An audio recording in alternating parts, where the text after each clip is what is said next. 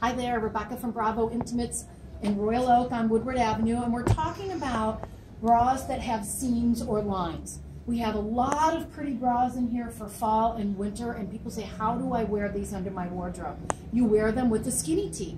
You put on a skinny tee and just smooth out that bra line for a seamless look, and you've got a nice, smoothing, seamless garment that's going to hold you in, give you a little hug, and give you a little extra warmth for this winter season. And voila, you can wear a pretty bra and matching set. Just get yourself a skinny tee.